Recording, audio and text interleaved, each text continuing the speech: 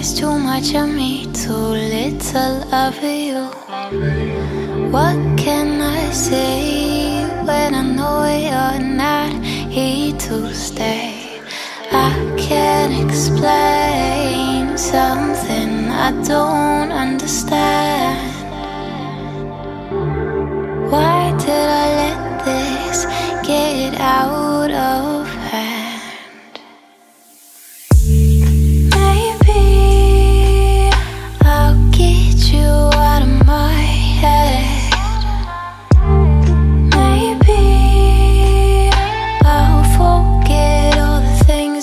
You